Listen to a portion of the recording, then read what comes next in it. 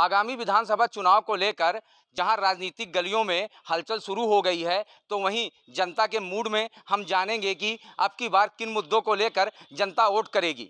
अगर हम विधायक की बात करें तो विधायक द्वारा क्षेत्र में क्या काम कराया गया है, इसको लेकर भी हम जनता से बात करेंगे। हमारे साथ जनता है और जनता के मूड के बारे में जानने के लिए इस समय हम मौजूद हैं जनता के बीच में।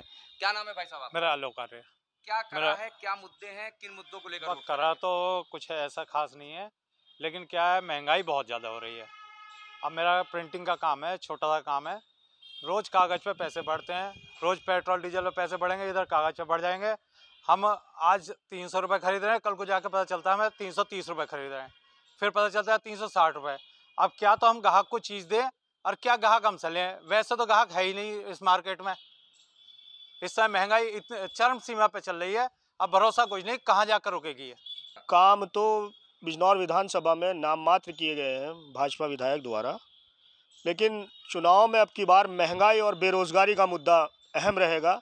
जो महँगाई से आम जनता की कमर टूटी हुई है, हर रोज़ महँगाई दिन ब दिन बढ़ रही है।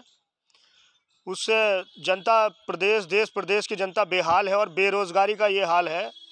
पढ़े लिखे नौजवान, ग्रेजुएट नौजवान नौकरी नहीं मिल पा रही है किसी विभाग में।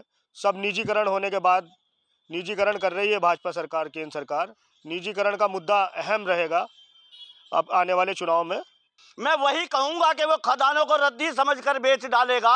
अरे वो चंदन को अगरबत्ती समझकर बेच डालेगा, हुकूमत दे दी हमने चाय बेचने वाले को, वो भारत को चाय पत्ती समझकर बेच डालेगा। इसने बर्बाद करने वाला प्रधानमंत्री साबित होगा। नरेंद्र मोदी जिसका नाम है। दुनिया का सबसे बड़ा झूठा प्रधानमंत्री हिंदुस्तान का है। ये झूठ बोलने के अलावा कुछ नहीं करते। इन्होंने कहा था, हम एक करोड़ रोज़गार देंगे।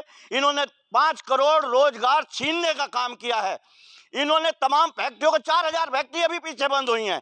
कहाँ जाएँगे ये युवा? ये डकैती डालने का काम करेंगे, ये अपहरण करने का काम करेंगे, आखिर उन्हें पेट भरना है। आज किसान ग्यारह महीने से बॉर्डर पे पड़ा हुआ है। इनकी आँखें नहीं खुल रही। ये किसान के बारे में नहीं, ये किसानों का मुल्क है। ये किसान नहीं होगा तो ये मुल्क नहीं होगा, ये मुल्क बर्बाद हो जाएगा। ये बीस लाख का सूट पहनने वाला प्रधानमंत्री हमारे देश में अब तक चौदह प्रधानमंत्री मेरे ख्याल से हुए हैं। खादी के कपड़े पहनते थे, हाथ के चरखे के बुने हुए कपड़े पहनते थे। ये बीस लाख का सूट पहनता है, पाँच लाख का चश्मा पहनता है, दस हज़ार का जूता पहनता है और यहाँ लोग भूखे मर रहे हैं, फांसी लगाने का काम कर रही युवा शक्ति।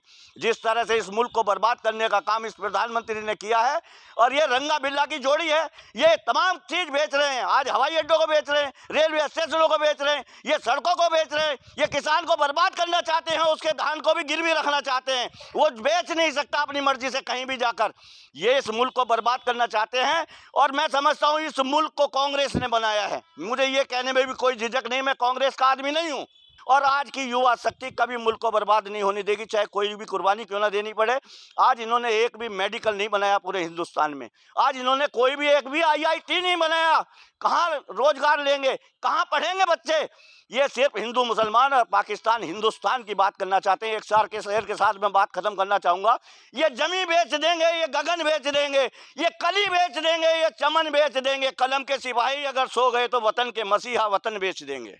मुद्दे तो सारे खत्म कर दिए भाजपा ने। वही सिलेंडर दे दिया था। कह रहे कि सिलेंडर फ्री है फ्री है। आज वो एक हज़ार रुपये का सिलेंडर है। कहाँ से तो वो सिलेंडर भरमा में? कहाँ से अपने बालकों का पेट भरें? लकड़ी अच्छी थी। में से चले जाते तो लकड़ी लाके खाना तो बना के दे देते अब क्या ये मोदी से कहाँ से कम है ये तो सुनने को तैयार नहीं। क्योंकि ये सुनेगा कैसे? इसके पास बच्चे नहीं। इसने तो अपनी बीवी छोड़ कर रख गया था। दूसरा है वो वो कह रहे हैं कि वो संन्यास लियो है अब किससे अपनी बात सुना में जाके? हम तो मजदूर हैं, परेशान हैं। भाजपा से क्या मैं, किससे क्या मैं जाके? विधायक बना के रखें। विधायक हमारी नहीं सुनता। वोट लेना आवेगा तो हाथ जोड़ेगा। बाद में वो हमारी बात भी नहीं पूछ रही। किससे जाकर कह मैं? दाल जो पचास रुपए को थी आज सौ रुपए को है अब दाल बना में या आटा ला में, कहाँ से क्या करें?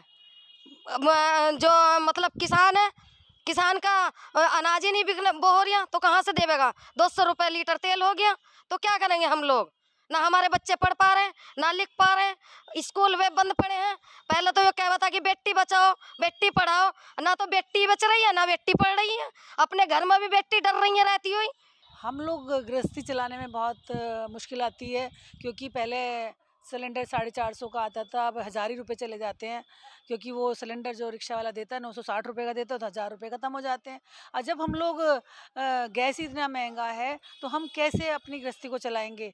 और जो छोटे छोटे लोग हैं, छोटी गरीब जनता है वो तो चलाने में सक्षम भी नहीं है, क्योंकि हमने देखे, सुना मोदी जी ने पहले सिलेंडर वो पूरा कनेक्शन फ्री दिया था, अब उन्होंने एक महीने तो उन्हें इस्तेमाल किया, अब उन्होंने उन्हें उठा के रख दिया, क्योंकि उनको, उनके बस की नहीं हज़ार रुपये खर्च करना, जो मजदूरी करता है, मजदूरी भी नहीं है, जब मजदूरी करके पैसा नहीं आ पाता तो वो कैसे अपना घर चलाए?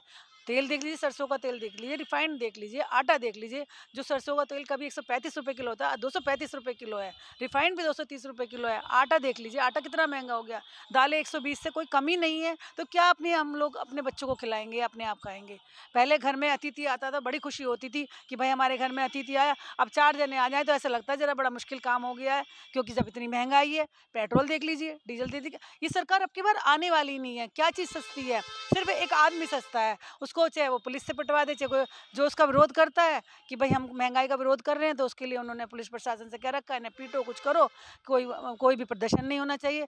जब हम अपना प्रदर्शन नहीं कर सकते तो ऐसी सरकार का कोई फ़ायदा नहीं है। सरकार को कम से कम महिलाओं की तो सुननी ही चाहिए, इतनी महँगाई में कैसे वो गृहस्थी चलाएगी, कैसे वो काम करेगी? रोज़गार है नहीं। लड़कियाँ पहले रोज़गार करके अपना घर का गुजारा चला लेती थी, अब वो रोज़गार भी ख़त्म हो गए हैं। कुछ कोविड से ख़त्म है, कुछ सरकार ने ख़त्म कर दिए हैं। अब आप देखिए कि चाहे अब डीजल और पेट्रोल को देख लीजिए, डीजल पेट्रोल कितना महँगा हो गया है। पहले लोग बाग अपना डीजल, पेट्रोल से कहीं भी गाड़ी बा, अब उन्होंने गाड़ी खड़ी कर दी है, फिर से साइकिल को ले आए हैं। क्योंकि साइकिल लानी इसलिए ज़रूरी हो क्योंकि इसमें तेल नहीं लगता। जब तेल नहीं लगेगा तो मतलब साइकिल से चलना ज़्यादा पसंद करेंगे। मुद्दे सारे महँगाई के हैं, बेरोज़गारी के हैं, जो गरीब लोग हैं उनकी परेशानियों के हैं।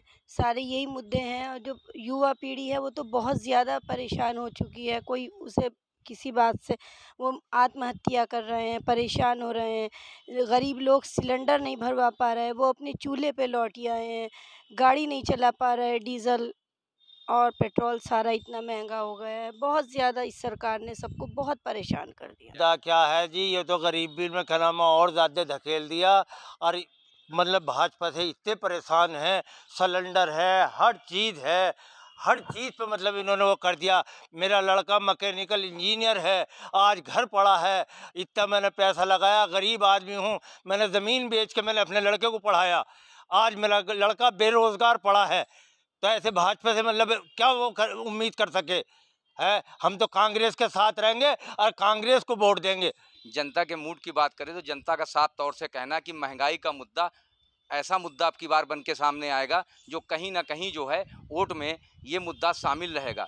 इसको लेकर, साथ ही विधायक के काम को लेकर, कहीं ना कहीं जनता असंतुष्ट दिखी है, जिसको लेकर जनता वोट करेगी। रोहित त्रिपाठी, ईटीवी भारत, बिजनौर।